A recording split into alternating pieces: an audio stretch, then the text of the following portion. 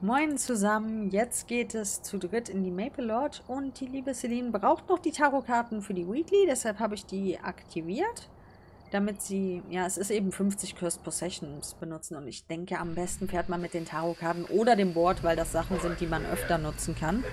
Breakers bei der Rezeption, Aufgaben sehen gut aus, rein da. Okay, ich mache dann den Brecki schon mal an.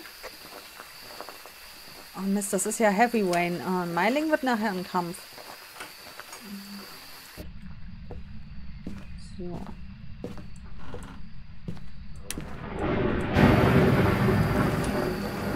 Ihr hört ja, wie laut das wieder ist. Ein Versteck hier. Ich habe Slendy gefunden. Der steht hier wieder im Wald rum. Diesmal am mittleren Platz. Ghost, are you here? Give us a sign. Are you here? Kein Versteck. Ghost, where are you? Give us a sign.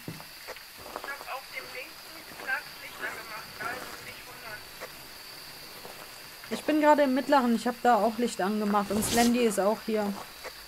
Ghost, where are you? Hallo Slendy. Wie geht's dir? Gemütlich da hinten? Schlendy. nicht am Pier, okay. okay, gucken wir mal kurz nach dem... Ja. Ich gucke hier mal im mittleren Zeltplatz nach dem Knochen. Ich höre natürlich gar nichts wegen dem Regen. Ich mache die Zelte alle wieder zu hier im mittleren Zeltplatz. Wenn nachher eins offen ist, war es der Geist.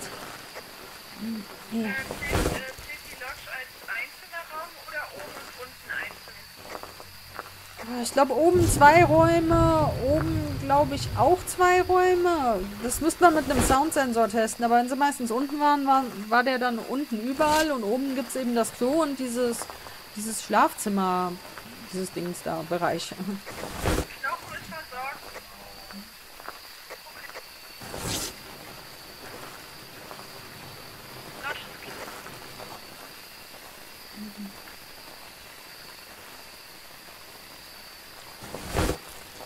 Das wieder zumachen.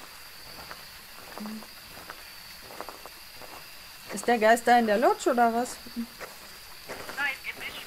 Ach so, okay. Ja, ich habe hier gerade mal in den Zelten überall geguckt. Da ist jetzt kein Knochen. Ich habe extra alle Türen wieder zugemacht, falls der Geist die aufmacht.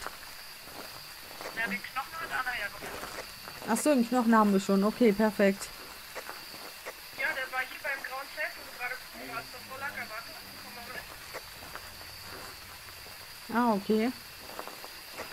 Der lag genau hier vorne.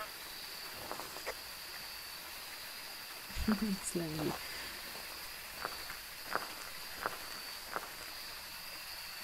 Aber wo ist jetzt unser Geisterkamerad?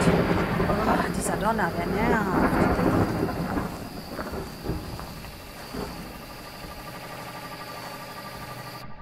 Ghost, are you here? Give us a sign. Habe ich hier nicht Licht angemacht, als ich rein kann? Ich weiß es nicht mehr. Habe ich?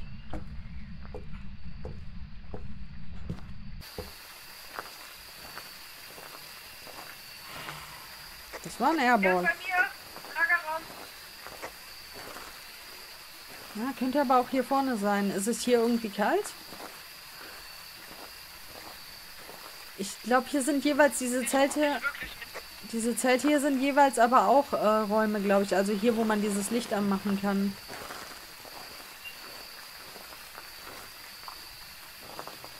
Ah, das ist hier sehr riskant.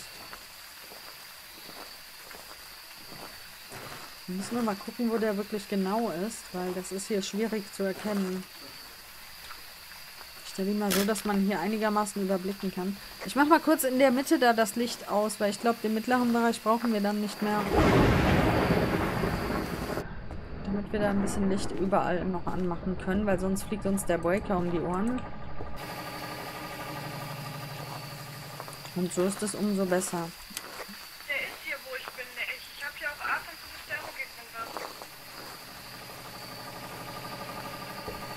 Wir haben was. Äh, Mensch, Fluffy. Sorry für die Hintergrundgeräusche, tut mir leid. So.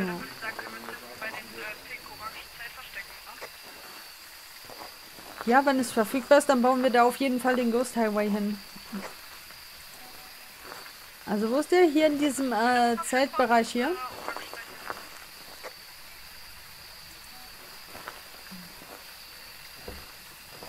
Okay. So, dann bauen wir hier mal den Ghost Highway auf. Äh, Salz.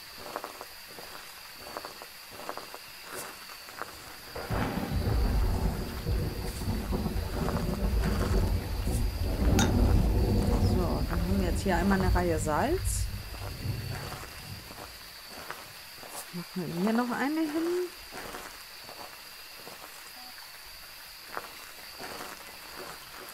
So, und der Rest ist Reserve. Das packen wir dann hier hin, weil hier kommt gleich das Versteck dann hin.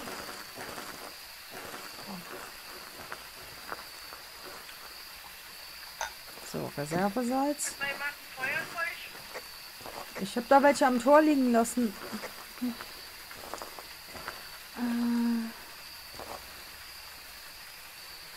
Hast du schon im Raum, ne?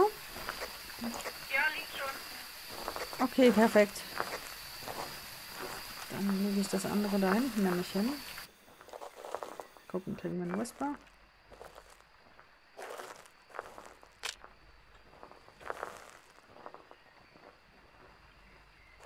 Hm.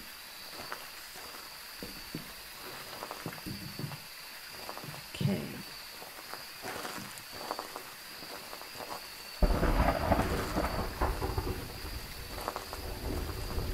Aber ist der Geist denn wirklich da? Frage ich mich gerade. Ist das schon eine Laterne? Da können wir noch eine hier tun. So, Laternen sind da. Dann packen wir noch eine Kamera hier hin, um das später von draußen aus zu beobachten. So. Ja, wenn man die jetzt hier hinstellt, kann man die so drehen und ja genau. Lassen wir die mal so in der Ausgangsposition. Packen den hier noch hin. Da ist ein Sensor. Hier könnten wir auch einen Sensor noch hin tun.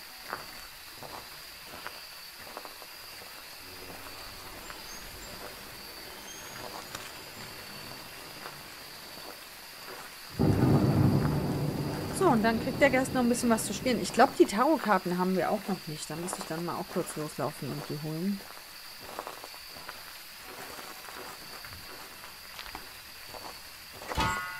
Oh, die Falle hinter dir. Ich kann es fotografieren. Ja, hat sich schon geschissen.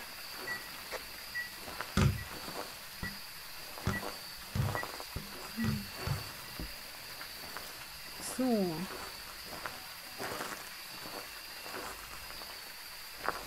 Der hat schon wieder die Laterne nicht genommen.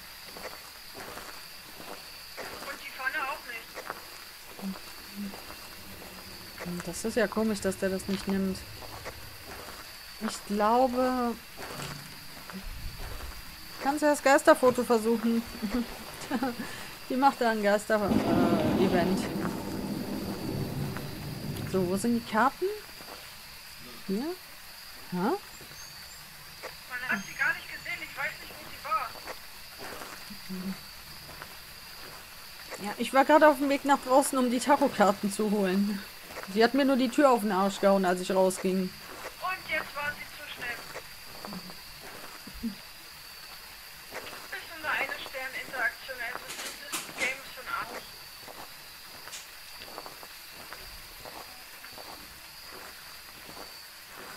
Warte mal, die Aufgabe war doch Play Medium Map, ne? Ja.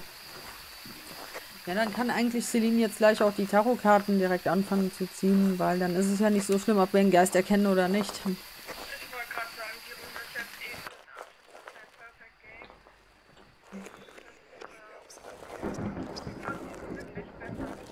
Whisper.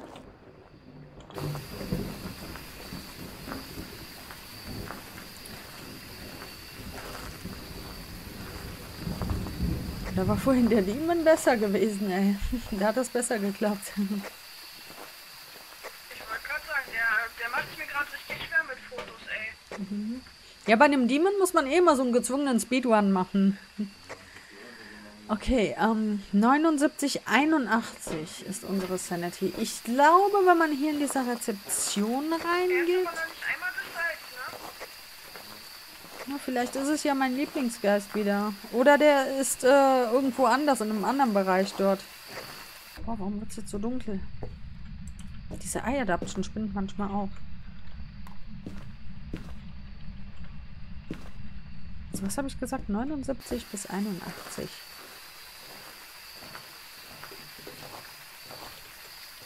So. Er ist doch gerade durch den Sensor, aber das Salz ist nicht durchnascht. Ja, dann haben wir vielleicht den Lieblingsgeist. Das ist ja auch gut. Oh, dann sollte ich vielleicht nicht ohne Krütze irgendwo stehen. Der kann sich ja auf uns porten. Unsere Sanity ist noch hoch genug. Es wird erst gefährlich, wenn die niedrig wird. Wieso linken hier ein Buch? Also, wenn das jetzt mein kleiner Bruder gewesen wäre, der hätte das Buch irgendwo versucht, in der Ecke zu verstecken, dass es nicht auffällt, dass er eins mitgenommen hat. Ich leg's auf die Mülltonne. Ich hab das vorhin liegen lassen, weil das erst äh, rauskam, nachdem ich schon hingelegt hatte. ja, bei meinem kleinen Bruder ist das immer lustig, wenn er die aus Versehen mitgenommen hat, die Bücher, dann tut er die mal irgendwo verstecken, damit man es nicht merkt. Ich möchte auch nicht reden mit. Liegt jetzt auf der Mülltonne.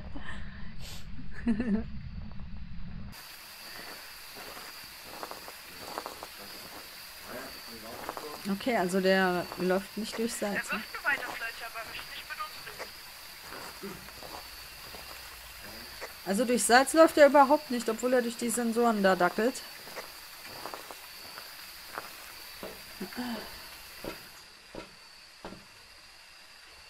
Also im Moroi können wir definitiv dann auch schon mal rauswerfen. Aber wenn er eh nicht ins Salz läuft, haben wir so oder so, glaube ich, einen Wave. Anhand der ganzen... Kann ich mal was über? Warte, ich glaube, er ist gerade. Er ist durch sein. Ah, okay.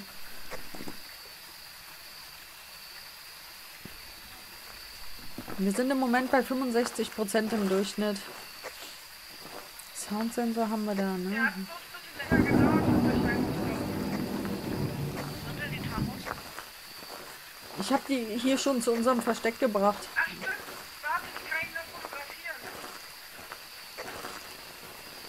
Ja, kannst ruhig hier fotografieren kommen. Und nach dem Hand kannst du auch das Salz fotografieren.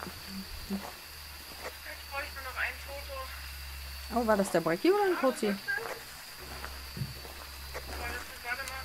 Ne, es war der Brecki. Jin ist raus. Ah, nee, war der Brecki. Oh, Ich würde dann starten. Ja, dann fang an zu ziehen.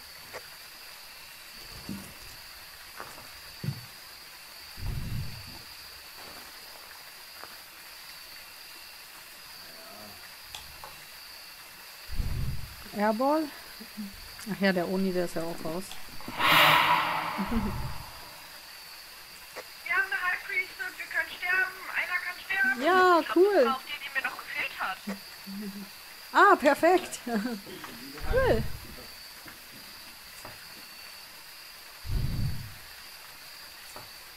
Da kommt wieder ein Airball. Wie das immer aussieht.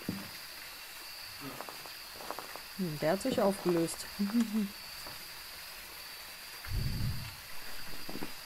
Okay. Dann müssen wir nur noch gucken, was wir für einen Geist hier haben.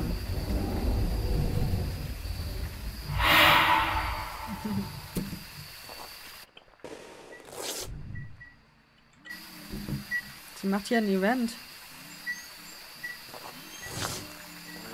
Da vorne am schwarzen Zelt. Da steht sie. Hallo, Omi. Ja, wäre schön gewesen, um das Phantom zu testen, ne? Sie stand da an dem schwarzen Zelt.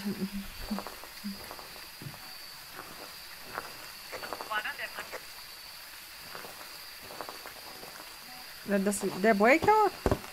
Oh, jetzt zerstört sie unseren Highway hier. Der Breaker ist da bei der, wenn man durch die Rezeption durchgeht, direkt auf der anderen Seite davon.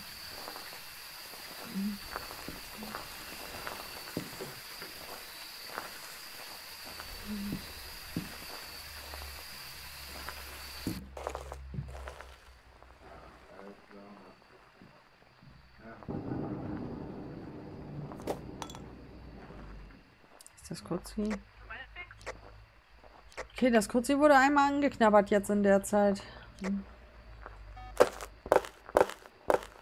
Versucht gerade zurückzugehen?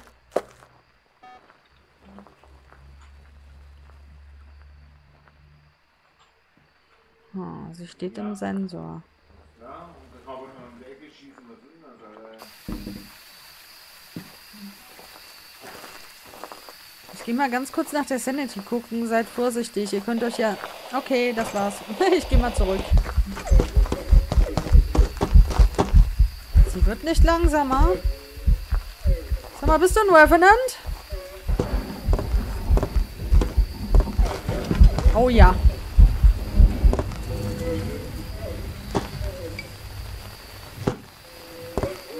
Haben wir Glück gehabt, dass wir immer einen einfachen Geist haben. Schön. Ja, ist ein Revenant. Hört ihr es, wie langsam sie ist? Jetzt, wo sie uns nicht mehr sieht. Definitiv Webby. Puh, Glück gehabt, weil wir haben nämlich den Regen und äh, so richtiger Endbossgeist hier mit dem Regen ist Meiling, weil man, ihr hört es ja, man hört gar nichts. Und ein Meiling so zu hören wird sauschwer. Das ist ein Revenant. Ich habe sie extra nah auf mich zukommen lassen, weil es hätte ja auch ein Deochen sein können, ne? Weil der wird ja langsamer, wenn er in eure Nähe kommt. Das weiß ich nur nicht. Ich hoffe, sie bleibt in der Nähe und endet ihren Hand auch hier in der Nähe, weil mit dem Regen ist es schwer zu hören, wann der Hand endet, weil das Licht jetzt eben aus ist. Und ich weiß jetzt nicht, ob wir Cursed Hands haben. Ich weiß jetzt nicht, was die Karten waren. Ich weiß nicht, haben wir Cursed Hands? Eigentlich nicht, nee. Wir können mal vorsichtig gucken. Okay, äh, der Lichtschalter geht, also können wir raus. Es ist ein Revenant. So. Na, immerhin. Ja, unfassbar schnell geworden, als er uns gesehen hat. War ja Wahnsinn. Ja, ja, das ist der Revenant, wenn er einen sieht. Und wenn man sich dann versteckt, werden die ganz langsam. Daran erkennt man die immer am besten.